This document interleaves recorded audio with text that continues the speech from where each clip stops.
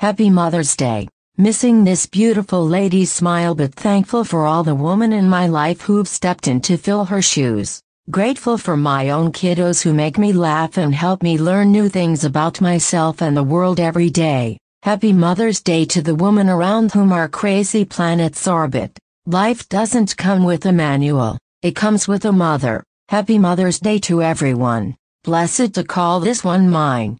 Happy Mother's Day from the entire Action News team.